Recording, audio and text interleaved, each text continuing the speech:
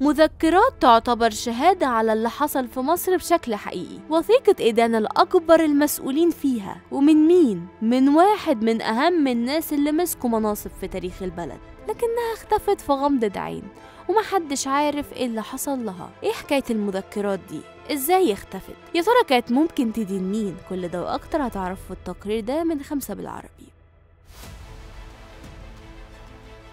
مين ينسى اسم الوزير الراحل كمال الشاذلي واللي كان واحد من أهم أركان نظام الرئيس الراحل محمد حسني مبارك؟ مش نظام مبارك بس ده كان رجل العصر. في الأنظمة اللي حكمت مصر من ساعة الرئيس الراحل جمال عبد الناصر حتى السادات حتى مبارك. وفي سنة 2002 قال الشاذلي إنه بيعمل مذكرات عن سيرته الذاتية والسياسية واللي اعتبرها كتير من الناس وقتها إنها هتكون خطيرة جدا حتى لو قليلة وأكيد فيها أمور بتدين الرئيس الراحل حسني مبارك ونظامه وأولاده اللي كان بدأ يلمع اسمهم وقتها. ولما سألوا الشاذلي وقتها إن كان هيقول كل حاجة في المذكرات دي رد عليهم بالتأكيد إنه مش هيقول غير الحقيقة وإنه بس محتار في اختيار عنوان مناسب للمذكرات ومش عارف يختار أي واحد من العنوانين دول.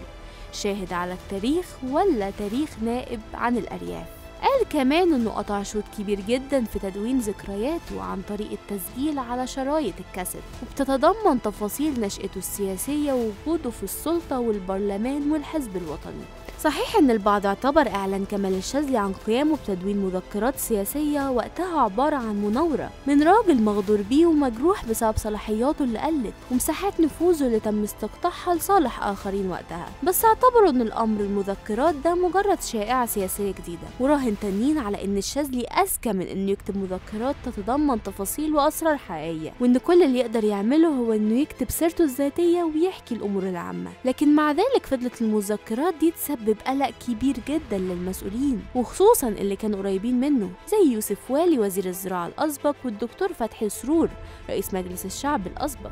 وده الأمر اللي فسره كتير من المراقبين بأنه مرتبط ببداية ظهور اسم جمال مبارك واللي كان بيمثل أحد الوجوه الجديدة سواء في الحزب الوطني الحاكم أو حتى في السياسة لكنه ما كانش على وفاق مع الشاذلي باعتباره من الحرس القديم.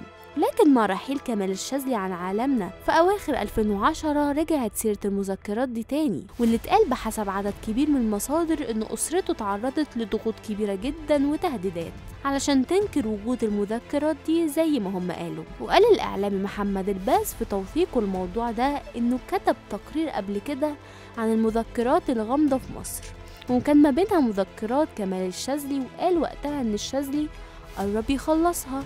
مش بس كده ده الباز كمان قدم عدد من الدلائل اللي ما تقبلش الشك ابدا إن في مذكرات فعلا. واستند في كده على الكلام اللي سمعه من إن اللي بيكتبه ما فيهوش أي حاجة تدعو للقلق. لكن الباز قال إنه بعد ما نشر الكلام ده قامت القيامة بسبب إن الشاذلي كان غضبان جدا واعتبر إن اللي بيتم نشره ده من التشهير بيه. ونفى تماما إن تكون في مذكرات من أي نوع.